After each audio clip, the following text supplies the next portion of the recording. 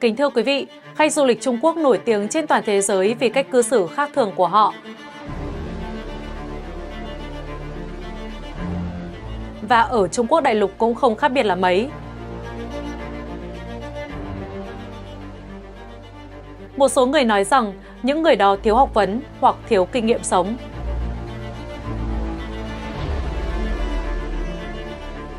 Thực ra, họ là nạn nhân của chế độ Cộng sản Trung Quốc. Chính quyền Trung Quốc đã phá hủy nền văn minh Hoa Hạ một cách có hệ thống và tách rời dân tộc khỏi cội nguồn văn hóa của họ. Nó đã biến họ thành những con người chỉ chăm chú vào việc thỏa mãn nhu cầu vật chất, không có nổi ba ngày yên bình. Trong tâm chỉ lo nghĩ lợi ích của bản thân bị tổn hại.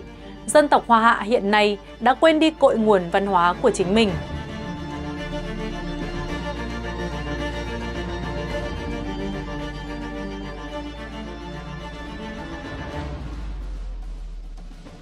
Đảng Cộng sản Trung Quốc đã thay đổi giá trị của cả một quốc gia như thế nào?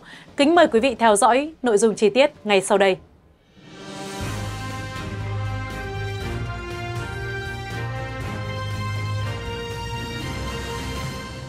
Ngày xưa, người Trung Quốc theo đạo Khổng Tử. Đạo Khổng Tử dạy con người nhân ái, công bình, đoan chính, trí tuệ, thủy chung.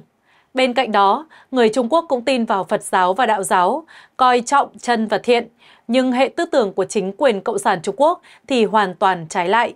Họ khuyến khích các giai cấp đấu tố, thù hận lẫn nhau, tôn sùng bạo lực, hủy hoại thiên nhiên và những giá trị đạo đức căn bản của con người. Khi Đảng Cộng sản Trung Quốc nắm quyền vào năm 1949, thông qua các cuộc cách mạng, nó đã xóa sổ tất cả những giá trị tinh hoa mà người Trung Quốc cổ đại để lại cho con cháu Hoa Hạ.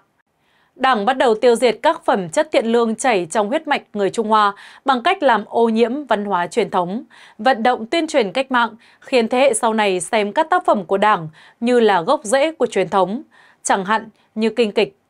Kinh kịch truyền thống đề cao lòng nhân từ, trung thành và chính trực. Đương nhiên, không phù hợp với sự căm ghét văn hóa truyền thống của Đảng Cộng sản Trung Quốc, vì vậy, Đảng bắt đầu cố gắng tước bỏ tinh thần của kinh kịch thông thường mà người dân Trung Quốc đã nghe trong hơn 200 năm và đề xuất rằng kinh kịch nên được trình diễn trong các bộ phim truyền hình hiện đại, phục vụ chủ nghĩa xã hội, công nhân, nông dân và binh lính. Từ năm 1964 đến năm 1966, vợ của Mao là Giang Thanh đã phóng tác và biên tập một số tác phẩm, bao gồm cả việc xử lý hậu kỳ, Kết quả là 800 triệu người chỉ còn lại 8 buổi chiếu, bao gồm cả cô gái tóc trắng. Nhà bình luận thời sự Lâm Huy nói rằng cô gái tóc trắng, Bạch Mao Nữ là một trong những nhân vật hư cấu được biết đến nhiều nhất và đây cũng là một trong những hình tượng thành công nhất do Đảng tạo ra để đảo ngược trắng đen.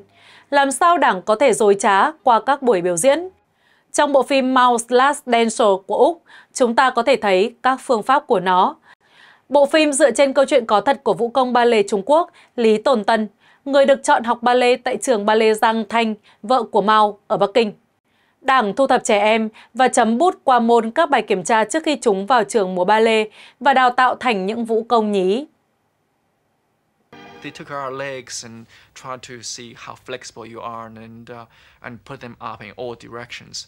And uh, and the, uh, as they're doing it, they ask you, does, you know, does that hurt? I mean, although probably hurt, but uh, but uh, I just smiled and said no because I thought, you know, this is what Mao want, uh, wanted us to do. Trong thời gian đi học, chủ nghĩa cộng sản đã tẩy não những đứa trẻ để họ tin rằng chủ nghĩa cộng sản là tốt nhất. Một lần, vợ của Mao xem một buổi biểu diễn ballet ở trường, sau đó đưa ra định hướng để thay đổi nghệ thuật. Bất kỳ tiếng nói nào chống lại nó đều bị loại bỏ.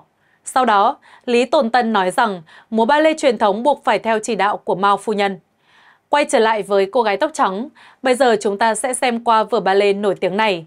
Cô gái tóc trắng là một câu chuyện về Tây An, cha của Hỷ Nhi, một nông dân tá điền, bị kết án tử hình vì không trả được nợ cho địa chủ Hoàng Thế Nhân. Hỷ Nhi bị lợi dụng để xóa nợ, buộc phải đến nhà chủ nhà Hoàng Thế Nhân để làm việc. Ở nhà địa chủ, Hỷ Nhi phải lao động khổ sai ngày đêm làm nô lệ. Cô ấy đã kiệt sức vì công việc, trong khi đó cô ấy cũng bị tra tấn. Quá đau đớn và tức giận, cô đã trả thù mẹ của chủ nhà. Sau đó, cô bị chủ nhà nhốt lại. Một người giúp việc lớn tuổi của chủ nhà rất có cảm tình với Hỷ Nhi. Người giúp việc lớn tuổi lấy chìa khóa từ áo khoác của chủ nhà trong phòng khách. Sau đó, cô ấy mở cửa cho Hỷ Nhi để cô ấy chạy trốn. Cô bỏ trốn vào rừng sâu và lấy đầy trái cây cúng dường trong chùa để sống qua ngày. Tóc cô ấy trở nên bạc trắng nên được những người mê tín trong làng tôn thờ như một nữ thần. Sau đó, cô được cứu bởi vị hôn phu của mình, Vương Đại Xuân, người hiện đã gia nhập đội quân đường thứ 8. Hai người xuống núi, triệu tập đại hội đấu tranh, chia ruộng đất, lật đổ địa chủ. Trong đoạn kết cuối cùng, chủ nhà bị xử tử bằng cách bắn. Những người cộng sản vui mừng khi họ được báo thù. Một diễn viên đã công hiến cả cuộc đời cho vở kịch Cô gái tóc trắng, Hách Trung Lương, bút danh, từng được nói rằng câu chuyện cô gái tóc trắng là một lời nói dối. Ở mỗi cuộc vận động của Đảng Cộng sản Trung Quốc, họ đều sử dụng câu chuyện cô gái tóc trắng. Vì nó mà nhiều chủ nhà đã bị tố cáo, bị đánh chết, bị lục soát nhà cửa và gia đình của họ bị tước đoạt tài sản. Hơn nữa, hậu duệ của những chủ nhà đó, mỗi thế hệ đều bị ngược đãi. Hách Trung Lương nói, sau khi biết sự thật, tôi thực sự cảm thấy có lỗi với bản thân vì chúng tôi đã bị lừa dối trong nhiều thế hệ. Những vở ballet đó không phải là ballet cổ điển và cũng không phải là những vở opera truyền thống của Bắc Kinh. Vinali, một huấn luyện viên múa cổ điển Trung Quốc, cô lớn lên trong thời kỳ mà múa cổ điển Trung Quốc được kết hợp với ballet. Cô chỉ ra rằng có nhiều điểm khác biệt. Múa truyền thống Trung Quốc có những khởi đầu bùng nổ và kiểu chuyển động tròn, chuyển động tròn. Bạn có thể hỏi người Trung Quốc đã múa như thế nào trước khi Đảng Cộng sản Trung Quốc xuất hiện. May mắn thay, có một công ty Trung Quốc ở nước ngoài đã tái hiện lịch sử văn minh Trung Hoa 5.000 năm thông qua các điệu múa của họ. Nhiều người nhầm nó với một công ty tại Trung Quốc đại lục. Trên thực tế, công ty này có tên là Shenzhen, có trụ sở tại New York. Vậy chúng truyền tải những nội dung gì và thực hiện như thế nào? Khán giả sẽ cho chúng ta biết ngay bây giờ. Âm nhạc và vũ đạo 5.000 năm Trung Hoa được tái hiện trong một đêm diễn. Tôi chưa từng được xem buổi biểu diễn nào tuyệt vời hơn thế này ở bất cứ đâu. Hạng năm sao, thật đáng kinh ngạc. Một hiện tượng văn hóa. Tôi học được nhiều điều hơn từ buổi biểu diễn này, nhiều hơn những gì tôi đã làm ở trường suốt cả tuần. Buổi diễn thật là đặc biệt, vô cùng thần thánh và thăng hoa. Thật sự...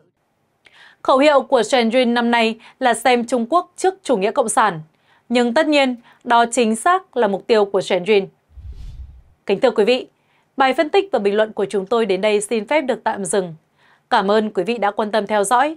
Chúc quý vị có một ngày bình an và mạnh khỏe. Mai Anh xin chào và hẹn gặp lại.